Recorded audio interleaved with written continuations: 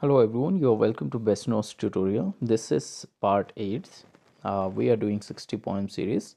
She Walks in the Beauty. This is the next poem we are going to do. She Walks in Beauty is a short lyrical poem in iambic tetrameter written in 1814 by Lord Byron. तो पहली चीज़ है कि ये publish हुई थी आपकी written uh, जब ये लिखी गई थी 1814 में और लॉर्ड बायरन इसके क्या हैं पोइट है is one of his most famous works It is said to have been inspired by an event in Byron's life. On 11th June 1814, Byron attended a party in London.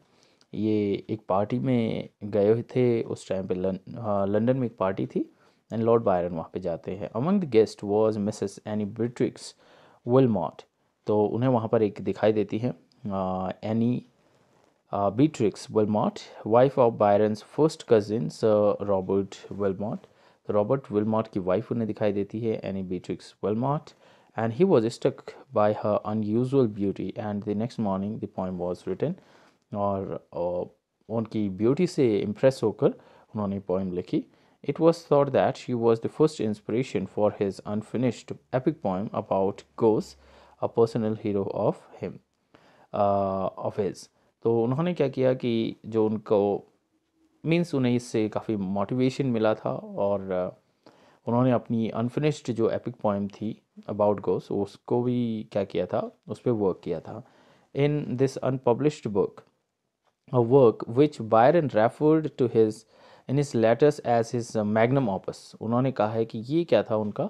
Magnum opus का है he switches the gender of goes and gives him the same description of his cousin और जो गोस है, उसे वो as a woman as a heroine क्या करता है डिपिक्ट करता है। तो और ये किससे उसका जो मोटिवेशन था बायरन का मोटिवेशन था, वो सर रॉबर्ट वेलमॉट की वाइफ का, या उनकी जो या उसके कजिन थे, उनकी वाइफ का, की जो ब्यूटी थी, उससे मोटिवेटेड होकर उन्होंने ये किया था। तो first lines are like this Uh, she walks in the beauty like the night of cloudless climes and starry skies, and all that best of dark and bright meet in her aspect and her eyes. Thus mellowed do that tender light which heaven to gaudy day denies. Last lines, and on that cheek and over that brow, so soft, so calm, yet eloquent, the smiles that win, the tints that glow, but tell of the day in godness sorry goodness spent a mind at peace with all below a heart whose love is innocent. Uh, in this poem there are three stanzas with six line each three stanzas hain and the poem follows a b a b a b in the first six lines. In the sec- second stanza cd cd cd and in the last stanza the rhyme schemes becomes EF EF EF. The poem follows iambic tetrameter. Iambic tetrameter use हुआ है which means there are four feet per line or uh, each unstressed syllable is followed by a stressed syllable in the first line of this poem. Songs of innocence and songs of experience काफ़ी सारे exam में पूछा जाता है Songs of innocence and of experience is collection of illustrated poem by William Blake uh, poems हैं it appeared in two phases. A few first copies were printed and illuminated by the Blake himself in 1789 five years later he bound these poems with a set of new uh, poems in volumes titled songs of innocence and uh, of experience showing the two contrary states of human soul and why these poems are important in 1789 uh, william blake is uh, you know transitional poet and we can say precursor of romanticism. unko precursor of romanticism bhi kaha jata hai some literary historian even uh, calls the starting point 1789 for romanticism. But this is not for exam examination mein aap 1790 80 likhenge blake was a painter also a painter before the creation of songs of innocence and experience and had painted such objects subjects as Oberon, Titania and pug dancing with fairies. और Blake क्या थे एक painter भी थे Innocence and experience are definition of consciousness that rethink Milton's existential mythic state of paradise and fall. और उन्होंने innocence and experience दोनों को पैराडाइज एंड फॉल से क्या किया था कंपेयर किया था Often interpretation of this collection center around the mythical dualism where innocence represent the unfallen world innocence को उन्होंने unfallen world से compare किया था और experience represent the fallen world so what is important here two terms are important कि experience और innocence दोनों को किससे represent किया है ये आपको mind में रखना है Blake categorizes uh, our modes of perception that tends to coordinate with a chronology that would become standard in romanticism. Childhood is a state of protected innocence rather than original sin, but not immune to the fallen world and its institution. This world sometimes uh, impinge, impinges on childhood itself and in any event become known through experience, a state of being marked by loss of childhood vitality, uh, by fear, inhibition, by social and uh, political corruption and by manifold oppression of church state and ruling class. So so, यहाँ पर अगर हम uh, इसको shorten करें तो यहाँ पर यह है कि जो चाइल्डहुड है उसको भी रिप्रेजेंटेशन दिया है उन्होंने इनोसेंस का। और इनोसेंस को उन्होंने दिया है अनफॉलन वर्ल्ड का या हम कहें कि जो लोग सिन से दूर रहते हैं। The volumes contrary states are sometimes signalled by patently repeated or contrasted titles in innocence, infant joy, in experience, infant sorrow, in innocence, the lamb and experience, the fly and tiger. तो कई सारे उनको titles मिले and uh, ये जो contrary states हैं उनको okay so here like innocence lamb in experience और फ्लाई और टाइगर ये क्या हैं एक्सपीरियंस से रिलेटेड चीज़ें हैं the stark simplicity of poem such as uh, Chimney Sweeper and The Little Black Boy, displays Blake's acute sensibility to the realities of poet, uh, poverty and exploitation that accompanied the dark satanic mills or industrial revolution. तो उन्होंने industrial जो revolution है उसको भी experience uh, की category में डाला है song of myself song of myself is a poem by Walt Whitman that is included in his work leaves of grass उन्होंने ये अपने लीव्स ऑफ़ ग्रास में इंक्लूड किया है। It has credited as representing the core of Whitman's poetic vision और इसे अगर हम क्रेडिट की बात करें तो लिखा गया है कि representing the core of Whitman's poetic vision and the and the poem was first published without sections as the first of 12 untitled poem. In the first 1855 edition of leaves of grass, जो उन्होंने leaves of grass, जो उनका book का collection था poetry थी। The first edition was published by Whitman at his own expense और उन्होंने खुद ही इसे लीज ऑफ़ ग्रास को क्या किया था? पब्लिश किया था अपने खुद के खर्चे पर। In the second 1856 edition Whitman use the title उन्होंने जो सेकेंड था, उनका टाइटल उसको ही किया था poems of Walt Whitman an American तो दूसरे का title poem of Walt Whitman an American है। Which was shortened to Walt Whitman for the third 1860 edition. तो पहला 55 में था सेकंड 56 में एंड थर्ड 50 एटीन सिक्सटी में सो so, पहले में तो लीव्स ऑफ़ ग्रास उसका टाइटल था दूसरा था poem of Walt Whitman an American and third था जो थर्ड था उसमें वॉल्ट विटमैन ही एडिशन का नाम था the poem was divided into fifty two numbered sections for the fourth edition and finally took on title Song of Myself और जो उनका 1867 में पब्लिश हुआ था, उसे सॉन्ग ऑफ़ माई सेल्फ में पब्लिश किया था उन्होंने मीन्स नाम से पब्लिश किया था। The number of sections is generally thought to mirror the number of weeks in their first lines I celebrate my self and sings myself and sing myself and what I assume you shall assume for every atom belonging to me as good belongs to you last lines failing to fetch me at first keep encouraged missing me one place search another i stop somewhere waiting for you this poem long this long poem having 52 sections कितने section है इसमें 52 section है uh, in it with various lengths there are single verses couplet triplets as well free verse is a type so we know the free verse this is a free verse poem और इसमें free verse poem use की गई है strange meeting strange meeting is a poem by Wilfred Owen ये Wilfred Owen की poem है, जो कि आपके वॉर पॉइंट में से एक थे। It deals with the atrocities of war world war first वह जो कठिनाइयाँ उन्होंने झेली या जो बुरी चीज़ें उन्होंने झेली, उसके बारे में लिखा हुआ है। The poem was written sometimes in 1918 and was publish in 1919 after Owen's death और जो विल्फ्रेड ओवन थे, उनकी डेथ के बाद इसे पब्लिश किया गया था। The poem is narrated by a soldier क्योंकि वो खुद भी एक सोल्जर थे। Who goes to the underworld to escape the hell of the battlefield and there he meets the enemy soldier he killed the day before और जब वो चले जाते हैं अपने अंडरवर्ल्ड में, और उन्हें वहाँ कौन मिलता है, जिस सोल्जर को उन्होंने खुद ही मारा होता है।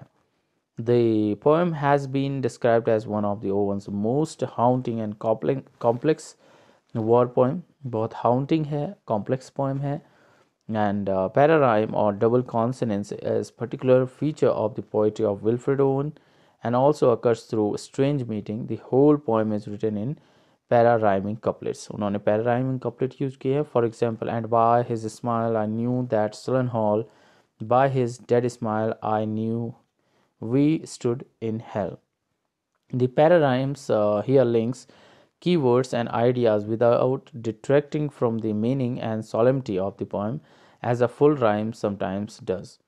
However, the failure of two similar words to rhyme and the obvious omission of a full rhyme scheme creates a sense of discomfort and incompleteness. और जब हम पोइम में एक ही टाइप के वर्ड्स बार बार यूज करते हैं तो हमें इनकम्प्लीटनेस की एक फीलिंग आती है it is discordant note that matches well to the disturbing mood of the poem. The poem is the final one of the Owens poems set in the war requiem of Benjamin Britten.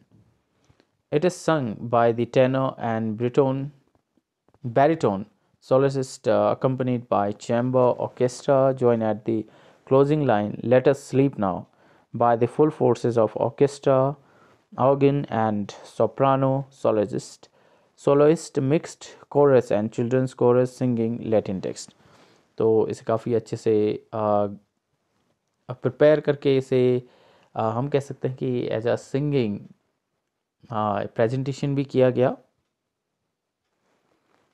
और इनकी जो poem थी उसकी line I am the enemy you killed my friend तो ये जो quotation है पूछी जा सकती है किसकी है? विलफ्रेंड ओवन की है।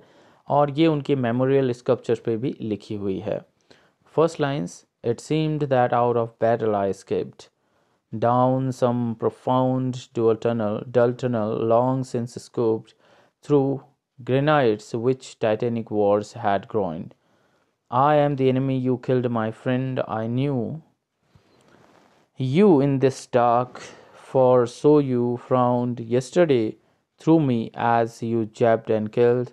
I parried, but my hands were loose and cold. Let us sleep now. So, this is by Wilfred Owen. It made up of uh, 44 lines in iambic pentameter divided into four stanza of irregular length. Sunday Morning. Sunday Morning is a poem from Wallace Stevens. ये वॉलिस Stevens की poem है Sunday morning first book of poetry Harmonium उनकी जो poetry थी harmonium उसमें ये publish हुई थी published in part in the November 1915 issue of poetry, then in full in 1923 in Harmonium. It is now in the public domain. The literary critic Your Winters considers Sunday Morning the greatest American poem of 20th century and certainly one of the greatest contemplative poem in English. तो इसे जो critic के द्वारा Sunday morning को best points में से एक माना गया है।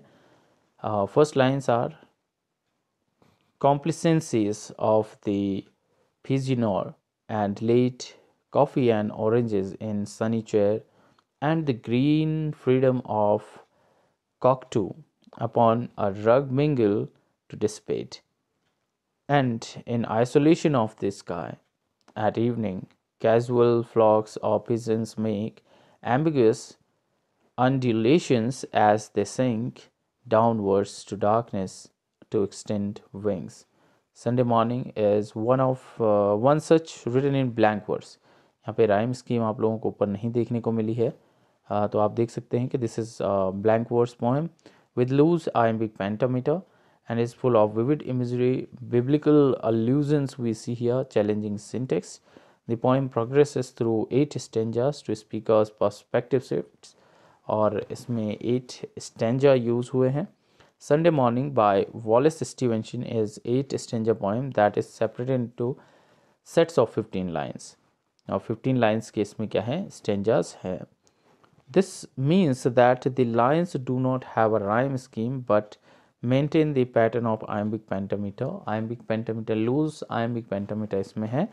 Each line contains five sets of two beats. The first of these is unstressed and the second is stressed. It is unusual for a poem of this length to stick a rhythmic pattern so strictly. Rarely would Stevens venture into the territory again और ये काफ़ी लंबी poem है but फिर भी हमें देखने को मिलता है कि एक पैटर्न जो है उस पर स्टीवेंस रहते हैं Sweeney among the Nightingale the poem Sweeney among the nightingale is short poem in quatrains quatrains में लिखी गई है। And the epigraph is taken from Greek tragedy Agamemnon तो मैमनो से ग्रीक ट्रेजिडी से इसे लिया गया है। It refers to the cry of dying king who is betrayed and struck a mortal blow of his own queen.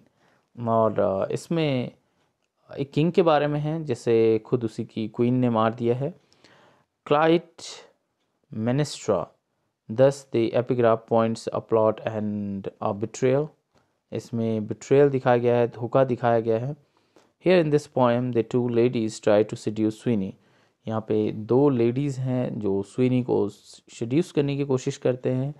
And there seems to be some sort of plot against his life Sweeney looks like a sexy ape full of life and laughter और Sweeney जो है वो एक ape की तरह है and he is sitting in a pub as he is fond of wine and women और जो स्विनी है, वो खुद क्या है?